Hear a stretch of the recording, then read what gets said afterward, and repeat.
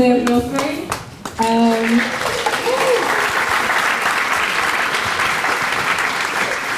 pretty impressive that so many of you are here. I'm happy that I have some of my voice left, and it's my team is very uh, is making fun of me. That is actually possi possible for me to talk too much. so this is probably what's happening. Uh, I'm very happy to welcome uh, Yehuda uh, today, and I'll just leave uh, the stage with him. So give him a big hand.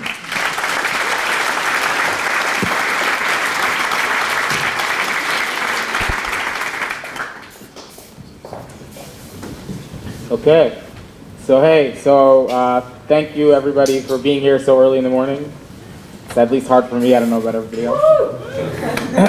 um, so my talk today is uh, called "Why Rails is Hard," and uh, the motivation behind this talk is that there's a, I feel there's a trend in open source today, and I think it's largely driven by the emergence of JavaScript uh, entering our ecosystem. I'm, I'm very so I think uh, there's a, an emerging uh, mentality that the only kind of good software is small and simple software, and if your software is doing too many things, it's de facto automatically, by definition, bad, wrong. Uh, you're doing it wrong. You should be writing small, decoupled software that does one thing and does one thing right.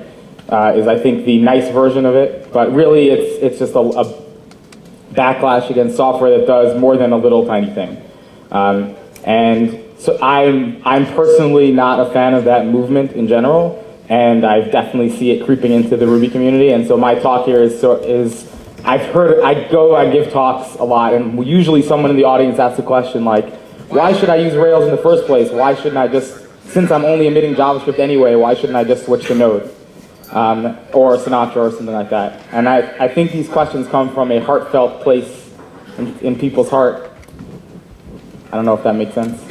Uh, but I, for me, as a person who worked on Rails and works on Rails for a, a, a lot, uh, what strikes me is that there's a lot of things that Rails does behind the scenes that nobody knows about, and that's a good thing that nobody knows about it. But unfortunately, we do such a good job hiding the complexity from people that they assume that there's no complexity there at all, and it's just a lot of code doing a lot of nothing. So the, the idea behind this talk originally was just to give a, a, a bunch of vignettes that show you things that Rails is doing. Um, it turned out that I only am able to talk about two things, so there, you could think of them as two case studies. But the idea is to talk about things that you probably didn't know about exactly. You might have heard of them, but you maybe don't know about what exactly is going on behind the scenes. Um, and in one case, to show how it compares with what other frameworks are doing. So you might call my talk uh, "Why Open Source is Hard." Hey, my thing is not working. There we go. Uh, why open source is hard because this general uh, problem, this general question applies just as much to the work I do um, on other projects as it applies to Rails. Um, in general, I try to solve end-to-end -end problems, so Bundler is a good example of this. I don't try to solve the small problem, and often I take flack for having a library that's not 500 lines of code. Um, but I, I think there's a lot of utility in actually trying to solve problems from the end-to-end. -end. So today I want to talk about um, why it is that Rails specifically, what some case studies in Rails. But the lesson that you hope, I hope you take out of this is there's a lot more going on in the libraries that I that we use every day, and don't assume that because there's bulk to a library that it's useless bulk. Um, so I want to start with a somewhat famous quote from Donald Rumsfeld. Uh, there are no known knowns, these are things that we know. We also know that there are known uh, unknowns, that is to say there are some things we do not know, but there are also unknown unknowns, that is, there are things we do not know we do not know. And for me, that, sorry, that list of things is divided up something like this in a uh, Rails application. There are a series of known knowns, things that everybody knows that they have to do. Uh, I have a web server, it serves JSON, sounds good. There are some known unknowns, uh, which are things that you probably have heard of but don't exactly know how to solve, and you hope that your framework solves them. Uh, security is a good example. You hope your framework is secure. Maybe you don't want to have to figure it out on your own, but you hope it's secure. And then there's unknown unknowns. These are things that the framework is doing for you, but you didn't have to know that they existed in the first place in order to get the, frame, the benefits of those things. Um, so I'm going to talk today about the second and third category. Um, what you do as a normal Rails developer is actually the first category. It's the things that you need to do in order to get your job done day to day, today. And that's actually the smallest part of what Rails does. It's the visible part of what Rails does for you, and it's the part of what Rails does for you that you could easily imagine porting over to something like Sinatra or Node. So you're looking at the surface area of, of the API part of Rails, the part that Rails says, hey, here is how you generate JSON, and you're thinking, I could do that somewhere else. And I don't really want to talk about that. We, we all know how to do that, and that's, that's our day-to-day work. Um, I think Sinatra or Node developers usually spend a lot of time in the uh, known unknown space. It's um, my app needs to be secure, so I'm going to go try to figure out how to do that.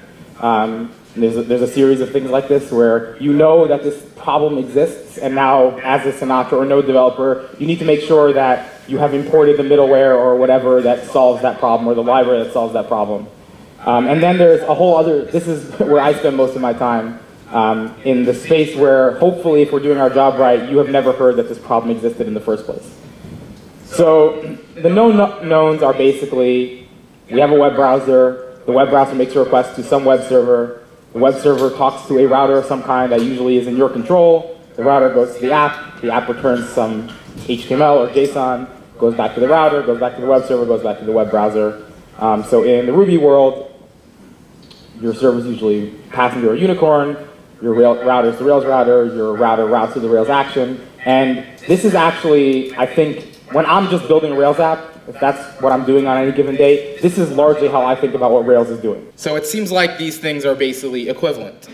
But like I said, I'm not really going to talk about this because in fact, for this, those particular public-facing things, they are pretty similar. What I'm going to talk about today are two case studies of things that are in the other categories. So the first one I want to talk about uh, is an example of something that is a known unknown, and that is CSRF protection. So how many people have heard of CSRF? The, keep your hand up if you know how CSRF actually works, how the attack works. Keep your hand up if you have like a, a if you could explain clearly what the mitigation strategy is. Okay, good. Um, so that's what, I, that's what I mean when I say it's a known unknown. Everybody knows that it's a category of thing that you would like to protect from. So when you go to build a Rails app or a Node app or a Sinatra app, you're going to be, most people will look for a checkbox that says this thing solves CSRF somehow. But most people don't know enough about how the attack works or how the mitigation strategy works to know whether the thing that you're using to solve the problem actually solves the problem or not. So, for example, because everybody knows that you have to solve the CSRF problem, the Express framework in Node uh, ships with this thing called Connect, which has a CSRF middleware. So there is this thing called anti-CSRF, and because what most people know about CSRF is you have to solve it somehow, they tell you, you put this middleware in your app, and then now, allegedly, you don't have to worry about CSRF anymore. Um, unfortunately, if you look at the documentation, it's a little bit more complicated than that. They tell you, make sure you put the middleware somewhere below your session and cookie parser because it requires session support. So already the uh, having to understand what's going on has increased. You have to know that it does something with the session. Not super bad, although I'm personally not a major fan when I'm working on applications of having to set up my own middleware stack, but that is a thing that people do in Node and Sinatra a lot. Um, and then what's I think more problematic is that the documentation say it does, uh, this middleware doesn't actually do anything to get the token in your form. So it basically says, Make sure to add the token CSRF to your requests um, somehow, and then in the documentation, they basically show you like, go gsub out, like go get the request body, gsub it out, replace like squiggly token with the token that you get out of the session.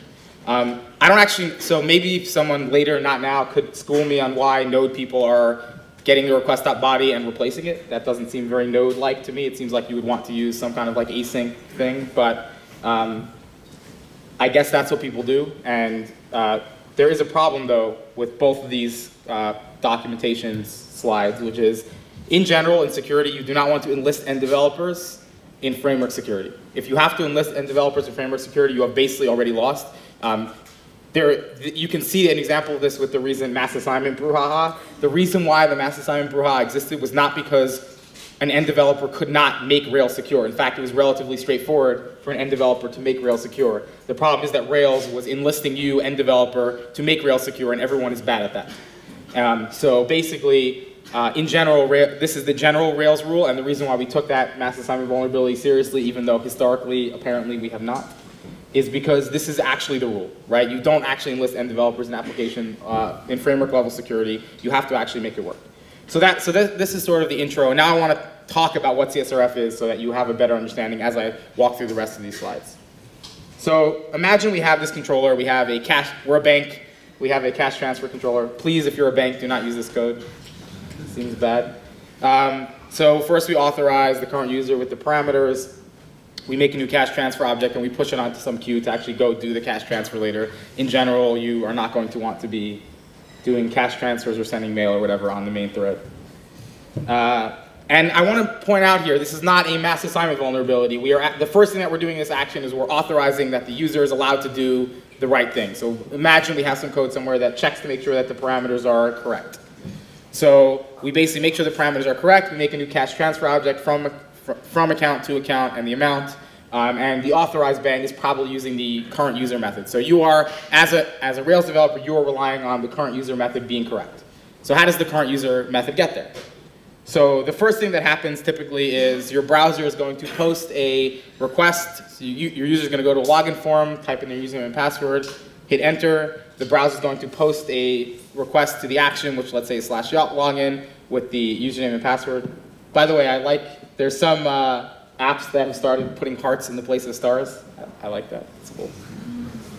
Uh, so we send the username and password. And then what the browser basically does is in the response, the browser returns a cookie, sorry, the server returns a cookie to the browser that says, here is some text that please you as a browser should send me back later. Um, and I don't, this is not the real cookie. The real cookie has uh, a signature in it that makes sure that you can't tamper with it and blah, blah, blah. That, that could be a whole other talk. Um, but basically the browser now has a cookie that will, it will send later. So now imagine that we have a form which is send some money, say action goes to bank.com slash transfer. That should probably just be slash transfer. We have a from value, a to value, and then an amount of $1 billion. And this is a perfectly valid form. This is on bank.com. You want to submit it. This is, there are probably banks that do approximately this form.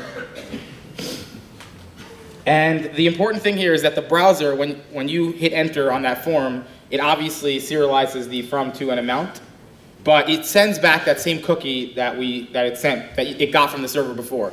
So an important aspect of web architecture is that the server doesn't actually know who you are between requests. What is called a stateless or share nothing architecture. So the server doesn't actually know who you are. The server relies on the fact that there's this cookie that gets passed back and forth automatically between the browser and the server, transparently from you as an end developer. And that's something that uh, Rails can use on the, on the flip side to identify, okay, you are that user ID, and then it sets, typically there will be some code somewhere that is either hand-rolled or comes from like devise or Authlogic or something that gets that, that user ID, looks up in the database, and populates the current user.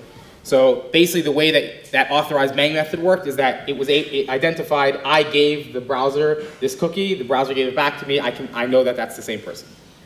Now the way that CSRF attack works is let's say I am evil.com. The browser actually doesn't care whether or not the form is submitted from my domain or from some other domain. So the browser, so evil.com could go make a, a form from and to amount. This is basically exactly the same form as before with a different submit text, and then go append it to the body and call submit.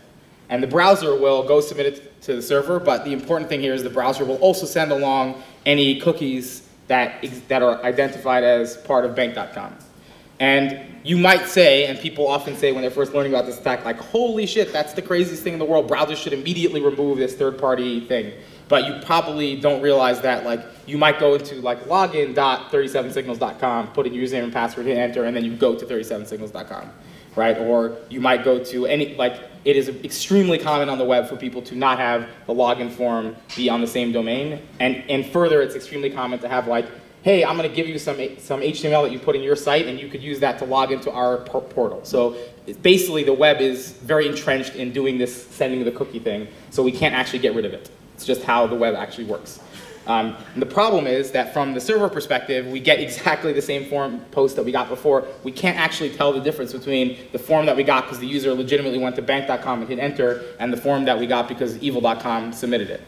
Now you might also say like, oh, it's not a problem. Why are you using from to an amount and uh, like a guessable URL? Like just use an unguessable URL and like other other names, and then no problem. Like you, people will not be able to figure it out. Unfortunately, uh, people, other people can actually go to bank.com and look at what the field names are and then copy them and do the same attack. So um, it doesn't, the fact that there are guessable URLs makes certain attacks easier for certain hackers, but it doesn't actually mitigate the problem at all. So the, the mitigation strategy is that we would like to have, instead of just providing the input fields that are the same for everywhere, we need to include a token together with the form that is special, that every single user gets their own copy of. And obviously, the, the thing is that the third party cannot actually see that token. The third party has no way to see it because the browser will not let you make an AJAX request cross-domain and send the cookies. So there's no way for the third party to actually get access to that the token that is associated with the user session. So when we actually go and submit the form, now we can check, oh, do we have the token that's associated with the user session? Yes, okay, awesome, that means it comes from me. No token means evil, we will not allow this. So that's the normal mitigation strategy. This is like, at this point, a pretty old mitigation strategy, and it's what basically everybody is doing when they say that they have CSRF protection. Um, in general, CSRF protection, the goal is differentiating a post that comes from your site with a post that comes from a third party. Another side point is people think like you could just use the refer header for this. It sounds like you would be able to. Unfortunately, the refer header, I think that something like 20% of all requests or 10 something come without a refer header. So if you want to use the refer header as a mitigation strategy, you will need to lock out 10% of your users who are behind a proxy that's stripped it out or whatever. Um, so that's also not an acceptable strategy. Long term, there's like the origin header et cetera, that will make it easier. But this is basically the fundamental problem. How do we differentiate a post that comes from your site with a post that comes from a third party, given that the browsers will happily send long cookies if you do the crazy thing where you make a JavaScript form and submit it. So that's, that's basically what CSRF protection means. Um, and when, you're, when we built CSRF protection into Rails, we basically have a few goals that we would like to achieve. So number one is on by default. Uh, many people don't know about CSRF protection, and so we do not want every single person who makes a new Rails app to have to know about CSRF protection and turn it on. Uh, for example, Connect makes you do that. Please learn about CSRF protection and put it into your middleware stack. Uh, that's bad. Then there are several different cases that exist in the world. There's HTML forms, which are vulnerable to CSRF, AJAX requests, which are vulnerable to CSRF, which also come from a browser, and then API requests that come from a non-browser and uh, will not pass a cookie, but we still want to make sure that you can make an API request. Um, and I'll talk a little bit more about why uh, the AJAX requests and API requests are fundamentally different things. Um, and then finally, we actually, as we build CSRF protection, obviously the state of the art in security changes. And for example, recently, about a year or two ago, we found out that there were some approaches that used to work by whitelisting certain headers, and it turned out that there was a Flash exploit that made that uh, approach unreliable. So everybody who is, does security well in a web framework had to go and modify the approach to do something different than we were doing before. Um, so that's another thing is just like, it is important that we keep up to date and don't use, don't say, you know, do CSRF, check the checkbox and call it a day. Um, we want to make sure that we're actually up to date. So th those are the goals. I think these are pretty straightforward and obvious goals. Um, unfortunately, the details get a little bit tricky.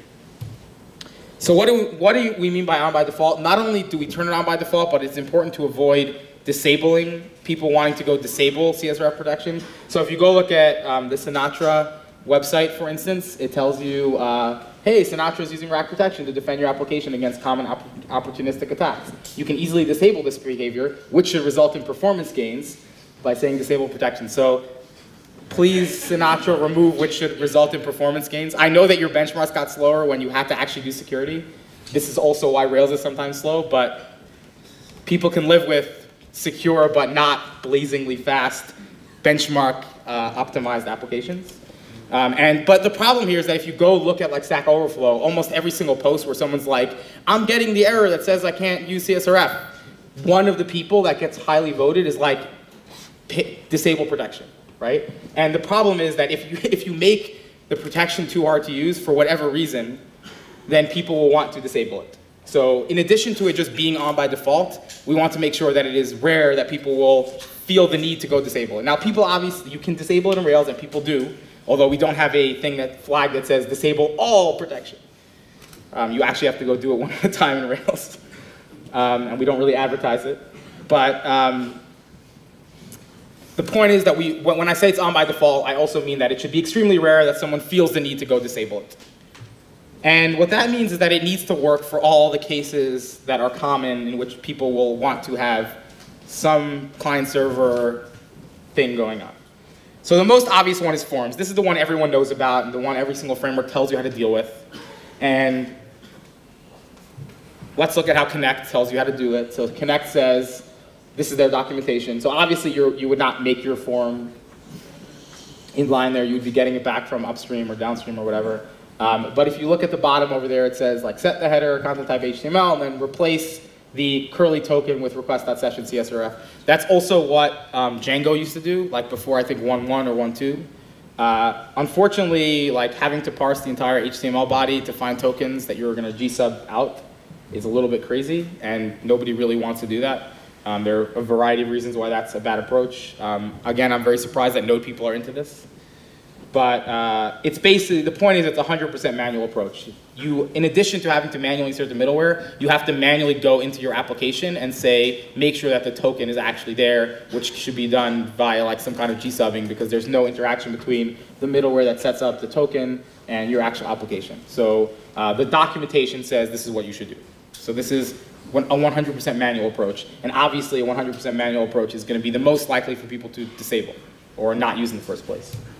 Um, Django has uh, what I call a semi-automatic approach. So uh, their forms, there's no form helpers um, in Django, so they basically tell you whenever you make a form, make sure you put in the CSRF token um, helper, and then we'll make sure to put in CSRF token. So that, uh, that is good. It does not require you to know about the mechanics of CSRF tokens, but it does mean that there are a large number of people that forget to put in the CSRF token and get confused and go and try to disable the CSRF middleware because they that's the first thing they find on Google before please put, put in this token.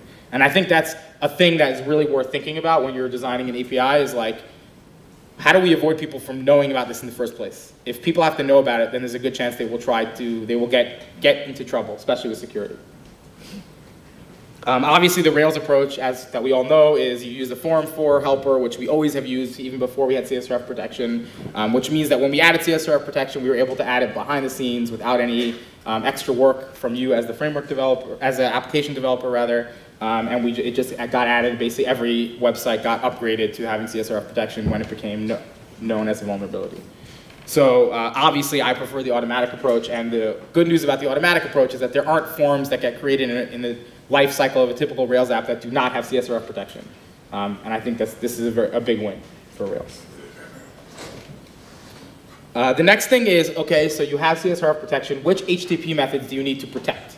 So I'm just going to tell you the answer before I proceed. The answer is you don't have to protect head and get requests. It would be very bad if every single time someone went to google.com, they had to say question mark CSRF token equals, right? That would be very bad. Um, and so your get request should hopefully not be making, uh, should not be doing un unsafe things. Same with head requests. In Rails, those are the same thing.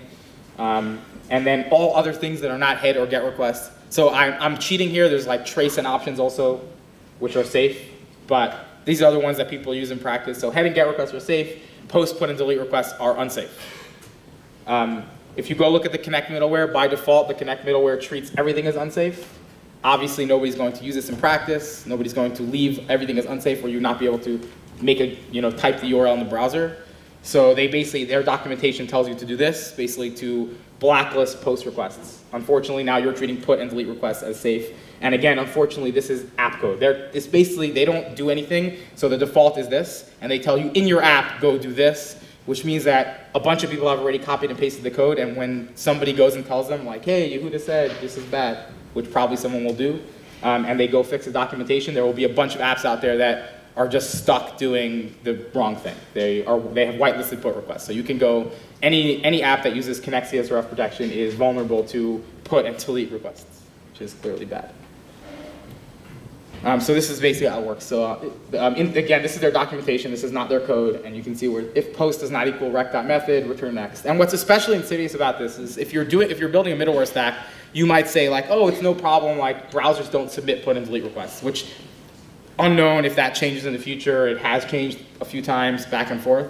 But more concerningly, in a middleware stack, you probably have something higher up that says like change underscore method equals put to a put request. So by the time you actually get to the CSRF middleware, you probably have already done some like mutation, or you might have already done some mutation and like leaving it up to the framework developer to realize that this has happened and like, oh, it's not actually a post request because it's been mutated. Clearly, this is not the path. Um, so, so this is a problem. Um, uh, rack protection, which is what Sinatra uses, does the right thing. It uh, whitelists the right things. Um, there's another thing though, which is uh, whether AJAX requests are considered safe. Again, I'm just going to tell you the answer. People used to think AJAX requests were safe.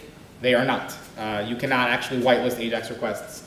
Um, there's some crazy flash hack that lets you get around what used to be considered a rock solid solution. So basically, when you are doing CSRF protection, you cannot actually say whitelist AJAX requests. This is not correct.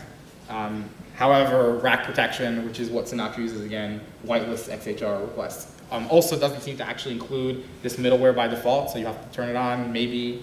Um, I'm not exactly sure what's going on, but uh, anyway, the form, the form um, token middleware specifically whitelist XHR, so you cannot do that. Um, unfortunately, it, it, was like a hard process for us to find this out. Like we basically got an email on the security list from a Google security researcher like, hey, did you know, crazy hack. Um, and we had to fix it and Django fixed it, but um, there, is a, there has to actually be a security process in a framework that you use for that to happen. Otherwise, maybe someone heard that there was a new security vulnerability, but the chances, basically for most frameworks, once the security checkbox is checked off, uh, people don't like periodically check it.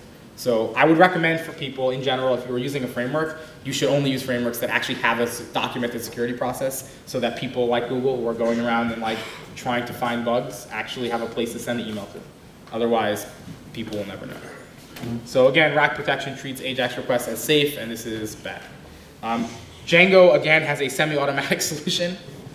And the Django solution is, okay, so we can't actually treat AJAX requests as safe. Please copy and paste this snippet from our documentation, hopefully you found, and put it into your JavaScript, and then everything will work.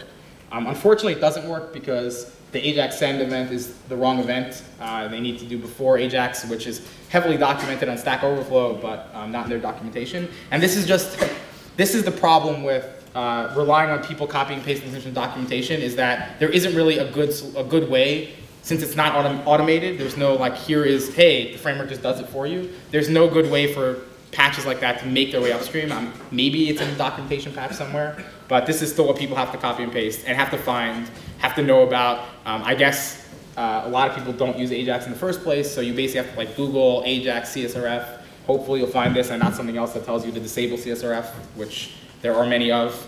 Um, so basically, the, so this is uh, I think what's interesting to me about this is that if you just, if you like got me and a Django guy in a room and we argued about this, the Django guy would be able to make the persuasive case and it would sound like it was quibbling that basically Django has CSRF protection, right? But all these semi-automatic solutions end up with something that many people fail at. Uh, many people can't figure it out for some reason or other. So um, personally, I'm not in favor of solutions that are like, please copy and paste this code. Please always remember to paste the token. Um, I just, people don't do it. You cannot enlist framework developers in this. Um, and the problem is, when we do semi-automatic solutions, we do not avoid disabling security features. And so, uh, for example, this guy says, I've searched around Stack Overflow and saw some information about turning off CSRF check. for my view, the CSRF exempt, I find that unappealing. So this guy knows enough to know that the Stack Overflow post that tell him to turn on CSRF is probably not correct, but he couldn't figure out, even though it's in the documentation, he couldn't actually figure out how to do it. Someone did eventually tell him, like, do this, but by the way, don't use AJAX send because that doesn't work you need to use before Ajax. Um, but the point is that if you search Stack Overflow, that's basically what you find. It's like, please disable CSRF. What Rails does, and this is sort of the point of my talk, what Rails does is harder, but it actually works reliably and does not enlist you as a developer into doing it, is we put a CSRF meta tag in the head, and then we include, uh, we have a JavaScript include tag, which includes a bunch of JavaScript that we ship with, including a Rails.js file, and then we add a Ajax prefilter, which does the CSRF protection, which extracts a token from the head and sends it. So basically, whenever you use jQuery, and the same thing is true if you use Prototype or another library that has a Rails.js, but most people use jQuery. Um, so if you just make a new Rails app and use jQuery and you make an Ajax request, it will automatically send along the CSRF token. Uh, will automatically be there in forms. If you happen to have forms, it will be extracted from the head if it's in the head. Um, and this is a uh, I think, a much better solution because it means that for most people, they're not making AJAX requests, and now the AJAX request is a whole other vector for disabling CSRF protection. Seems bad. Uh, I don't have any slides for this, but the final thing is API. So um, if you have a, a uh, action, which is an API action, again, it would be very bad if you have to disable CSRF protection. Unfortunately, what we discovered um, when we were doing the, the most recent security fix was you actually can't, there's no way to actually whitelist APIs. Um, so you can't say it's an API. We don't know it's an API because the same vulnerability that attacked Ajax also attacked any heuristic that we could use to figure out if it was an API or not.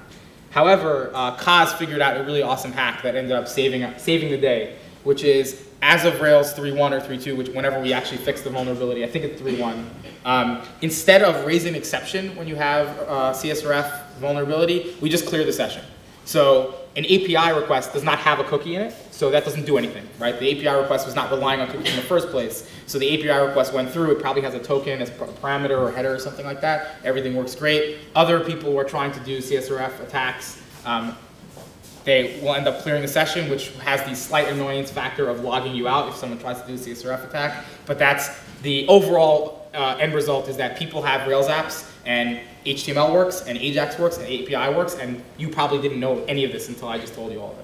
And I think that's, that's the point, right? You don't really have to, it's not good for you to have to know this. It's not good for you to have to Google, I am doing Rails, Ajax, how do I copy and paste this thing? You shouldn't have to know any of this. You should just be using a thing that has secure by default, secure defaults. Um, there's a lot of other security. I could have done a whole talk just on security. I decided not to do that. Um, but there are many other cases, and I, for me, one of the most compelling reasons to use Rails when people say, why should I not just switch to Node, is there's like 50 things like this. Um, and we also keep them up to date, and you probably do not want to switch to something that is insecure. Um, so that's, that's the known, uh, known unknown. You've probably heard of CSRF, but don't really know how it works. So uh, now you do. Um, and then the other category, and I'm just going to use an example here, is, is unknown unknown. So uh, the case I'm going to use is encoding. So people probably know like that there's a thing encoding. Raise your hand if you know that there's a thing which is encoding. Uh, keep your hand up if you know like what it encoding is. Okay, that's good, like half the audience. Um, keep your hand up if you like can reason about encoding errors at all. Okay, yeah.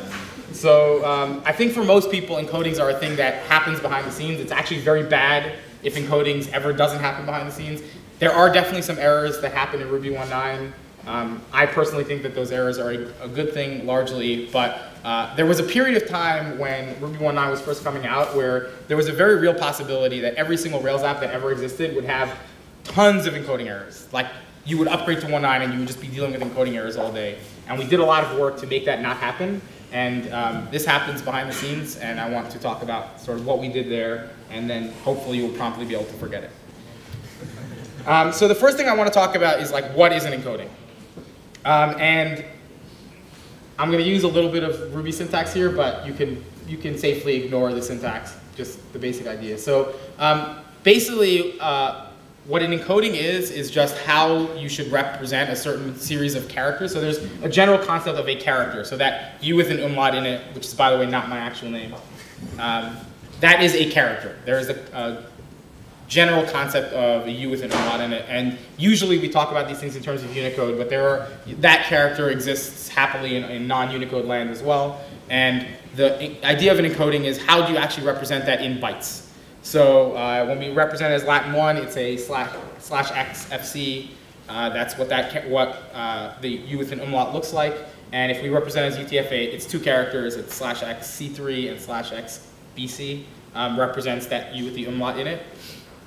Um, I'm not going to talk about this ever again for the rest of this talk, but uh, if you want to encode it as UTF-16, you can see it's, it's just another sequence of bytes, right? So it's exactly the same conceptual characters. It's the Y character, the E character, H, U with an umlaut, DA, but the way that you actually represent it in bytes is different.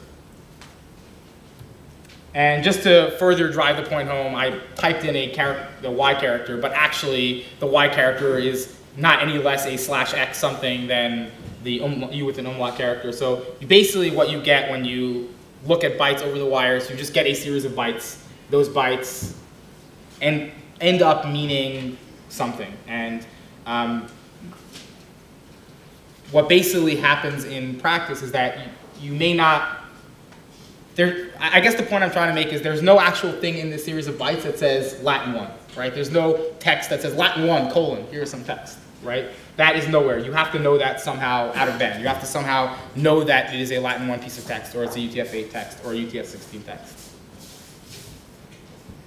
And I think another thing that's important to note is that a lot of character, a lot of encodings, and Latin 1 and UTF-8. By the way, Latin 1 is a synonym for ISO 8859-1. So, um, that fits on a slide less conveniently in some cases. Uh, so Latin 1, basically, and UTF-8 both share ASCII characters. So that's why YEH and DA in those, in those two encodings look the same, because any character that is ASCII uh, is exactly the same in both Latin 1 and UTF-8. And that's one of the reasons UTF-8 exists, is so that any valid ASCII characters will be valid UTF-8 as well.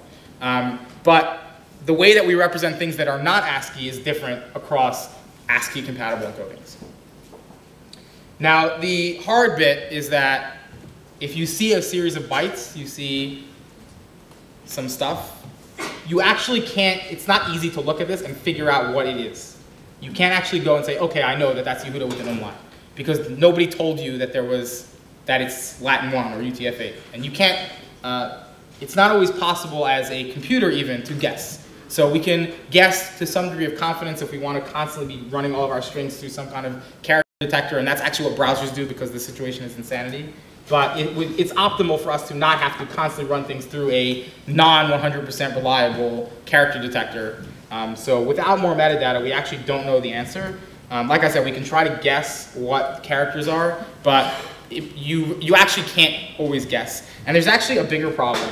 Um, so imagine that I have Yehuda in Latin 1, which looks like this, and I add it together with Yehuda in UTF-8, and I get a string, which is both of those strings together, which totally happens. This is like a thing that happens in, if you don't have encoding support in your language or your database like MySQL, you can easily get into a situation where you just have bytes and you just smash bytes together and you end up with a string that looks like something like this, okay? And the problem is that what encoding is that string? The answer is there is no encoding. That string has no encoding. It is broken. It is a corrupted string. But this string happens all the time in real life. And what you end up having to do is you have to guess. You say, okay, maybe it's Latin 1. And if it's Latin 1, we, the first part gets interpreted correctly, but the slash xc, uh, slash xc3 slash xbc, uh, that gets that in Latin 1, that means A with a enya on it and a quarter symbol. So you've probably seen this on the internet. And it happens because there's mixed characters. There's even the, the is trying to guess, but it sees UTF-8 characters and Latin 1 characters, and it has to pick one. And so it picks, it picks, oh, it looks like Latin 1, and then you have characters that are perfectly valid Latin 1, but clearly wrong. Like as a human being, you can see that that's clearly not Latin 1, but as a computer, for all it knows, that's what you meant.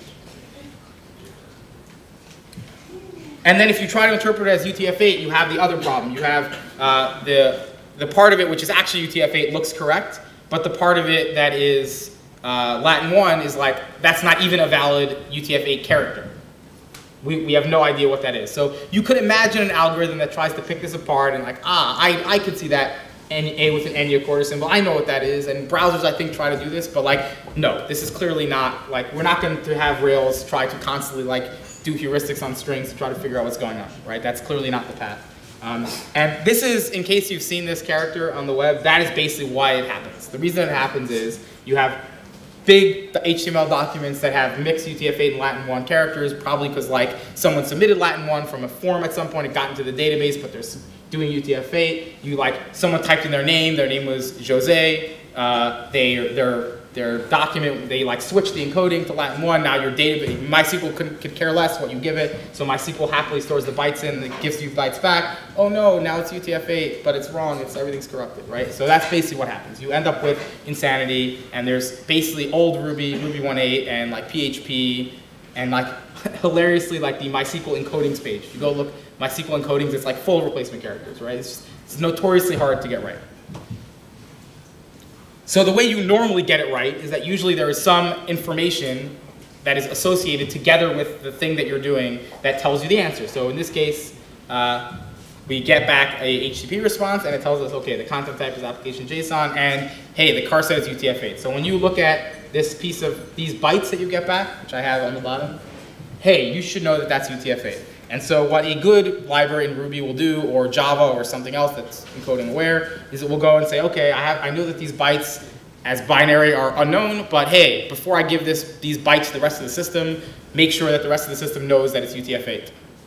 And then the rest of the system will know, and we will not have insanity. And we have a similar situation in databases. So imagine I go and I put something into a database, and imagine that I did not put corrupted data in there. Um, you can actually ask the database, hey, database, what is the character set of this database? Be UTF-8. So now when I go get the Yehuda back from the database, I can go and I can force encoding UTF-8. And again, uh, I will do this before I give it to Ruby. And in general, the problem of encodings is a question of boundaries. There is Rails, and in Rails, we're mostly dealing with strings that we get from other parts of the system. And then there's a whole boatload of other external data that gets data in as bytes, and it is at that boundary place, that is the only place where we know the answer. So the HTTP library note can look at the headers, but like those headers are not attached to the string and passed on to the rest of the system. So the HTTP library is the one that has to actually say it is UTF-8, or Nokogiri has to say it's UTF-8, or uh, MySQL has to say it's UTF-8. And what we decided for Rails is inside of Rails, everything is UTF-8. Now this is configurable, but I, as far as I know, nobody configures it. Um, inside of Rails, we would like all strings to be UTF-8. And this is essentially us trying to make Ruby behave similarly to how people, how Java or Python behaves, which is that inside the system, it's always a reliable encoding. And, but that means that we have to make sure that everyone on the outside of us is giving us strings that are in UTF-8. So I'm going to talk about how that actually happens, why that, why that does not fail. And before I do that, I need to talk a little bit about how Ruby handles encodings in the first place. Um, so the first thing is that there's this thing called default external, and what default external basically is saying is if you read uh, some data from an external source and you and it doesn't, you don't otherwise tell me what the encoding is. Here's what you should assume it is. So what Rails uh, tells you and what usually makes sense is like if you don't know the encoding, assume it's UTF-8 and you go file.read some, some file encoding and it's UTF-8. Um, I should note that Ruby does not default to UTF-8. Ruby defaults to whatever your operating system says, and operating systems vary. So the most common encodings in the Western world are Latin 1 and, sorry, ASCII and UTF-8. If it, if it happens to be UTF-8, usually things work. If your system happens to say ASCII, might, libraries might at random not work. Um, so you typically want to be like either setting your encoding in your system to be UTF-8, which is the LC_CTYPE uh, variable, or like in your script setting default external, right? So you, uh, this is a thing that, unfortunately, I think it's actually a mistake. I think Ruby should say if it's ASCII, it's actually UTF-8. But unfortunately, I think I'm, people ask me encoding questions, probably half of them are like, hey, I'm getting incompatible ASCII UTF-8, what's going on? Or like ASCII in Latin 1, and it turns out to be something like this. So because we set the default external to UTF-8, basically what that means is that when the file comes into Ruby, it's interpreted as UTF-8, and then obviously in Ruby it's UTF-8. So if we have the, if we have UTF-8 files in the outside world, and we set the default external to UTF-8, the goal of having things come into the system as UTF-8 is, is done. We know that this is true. Um, but sometimes uh, the external files are not actually in UTF-8. Sometimes they're in other encodings.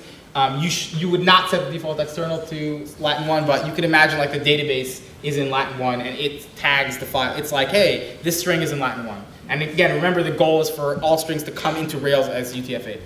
So what, we, what happens in Rails, is there, in Ruby, is that there's another setting called default external, which basically says like, hey, I don't actually care what encoding this is from the outside world. Before you give it to the inside world, please make sure it goes into this other encoding.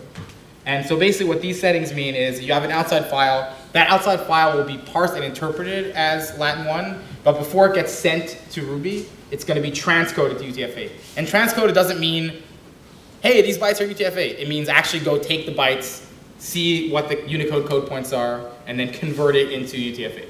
And so there's like, in Ruby, there's a series of tables that know how to do this for a bunch of different encodings, and Latin 1 to UTF-8 is one of them. There's some more exotic translations that don't exist, but those are largely, uh, those are weird cases, largely.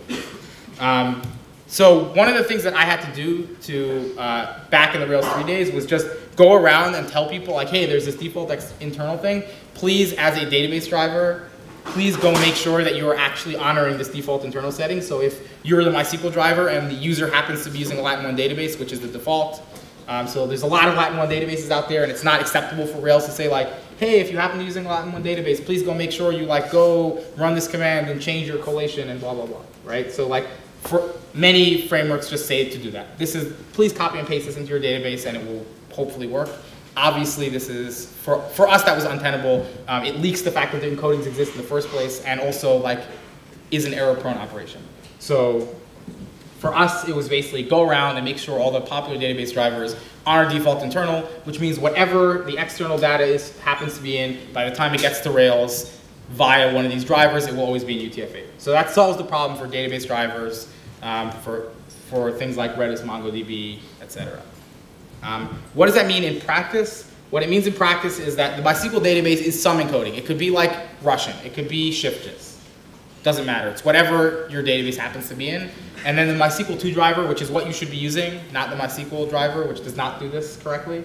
Um, the MySQL 2 driver says, okay, I now, I got the bytes in, I see that it's Shift JIS, so I'm gonna tag it to Shift JIS, and then hey, I see that the user has specified a default internal, so I'm going to now ask Ruby to transcode those bytes over into UTF-8. And then it will give Ruby the UTF-8 bytes. Um, so then now Ruby has the right thing, and then we have, we have satisfied one vector for external data coming into Rails being in the right thing. And if you actually look at uh, Rails, you'll see that we are setting the default external and default internal to UTF-8. And that basically means that we are telling the world like, hey, if you have, if you see data and you don't know what it is, assume it's UTF-8, um, which is basically just like people's editors usually save files in UTF-8. And um, if you see, if you have data from an external source that is not already in UTF-8, please convert it to UTF-8 before you give it to Rails. Um, don't do this in libraries. Uh, so Rails is basically, th there's like only one of Rails in a process. So we're basically saying like, here's what we want. If you're running like, you write like a CSV library or something, don't go and like set the default internal and external. That's actually a user setting. So you could imagine that like some Japanese user is like, oh, all my data's in Shift JIS. They don't, you don't want like require FasterCSV. Oh my God, all of a sudden my default external has changed. Um, it's okay for Rails to do it because Rails is a framework that's like running your process and does all kinds of stuff. But you your library should not be randomly changing these settings. Yeah, we'll have to wrap it up. Okay. Almost done, I think. Uh, templates. Yeah, so this is actually the last section is uh, section on templates. So um, basically what we do for templates, this easiest thing to do is like, okay, your templates are probably in default external, sounds good, we get the source, we make it def the default external have a nice day. Um, except that we would like you to be able to say like, okay, actually it's Latin 1. It's not, it's not uh, whatever the default external is. So you can put a magic comment at the top of your template file, which you can see over here, and then we'll do the right thing.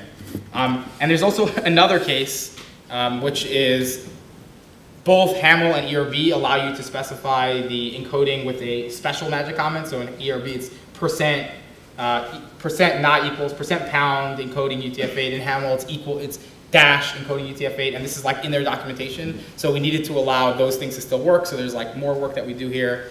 Um, when we get a template from an from the external source, we don't just believe that it's UTF-8 because we expect it to be. We make sure it's the right thing. Um, if it's not the right thing, we raise an exception which says like, hey, your template was not saved as UTF-8, please go save it. Um, so we provide a much better error if your template happens to be, you know, you happen to save it as Latin 1 in TextMate and you did the wrong thing. Um, and actually there's one more thing which is uh, browser data.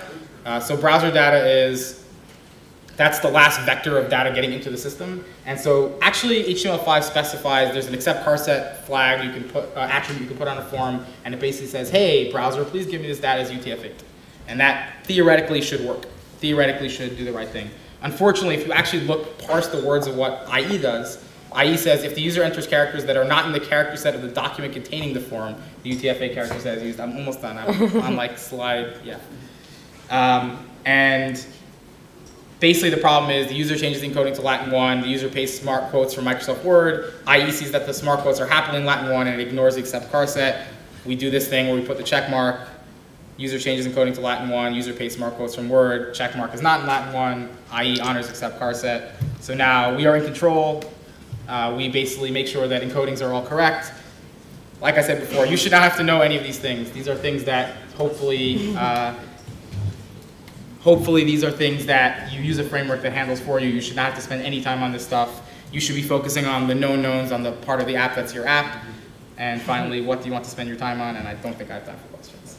No, you. Oh, I do. I have time for questions. Okay, I have time for some questions.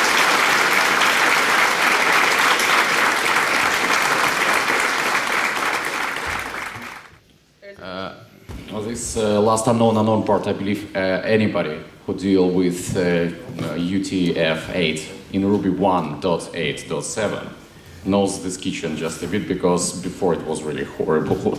Yep. Yeah. So the I, Ruby 1.9 actually gave us the tools for solving the problem. So everyone was like, Ruby 1.9, you suck at encodings. I hate you. Why? Why do we need encodings? But actually, there was no way for us to do the right thing in 1.8 because we didn't have the tools to see what the encodings were. Um, so now in 1.9, you tend people don't have replacement characters in their Rails apps, and people and tend to not thank you have very much for this. Yeah. Yeah. Thanks. Okay, there's one more question over there. Hi. Hey. Um, thanks for a great talk.